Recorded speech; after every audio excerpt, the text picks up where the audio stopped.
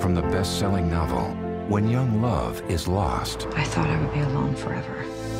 What would you risk for a second chance? I'd be grateful if you let me lay low for a few days. I could try and help out.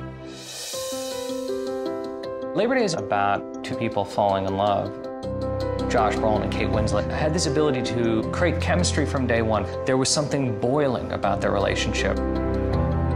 Creating this romance with Kate, I don't know if I've ever had as good of a time with an actress in my life.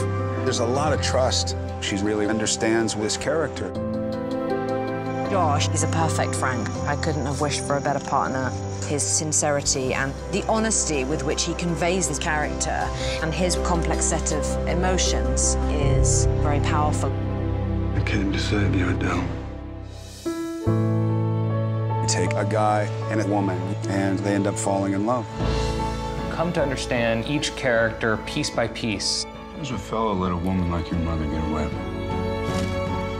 Josh and Kate, even when they're standing doing nothing, you feel the characters. I'd give my life just to have another three days with you.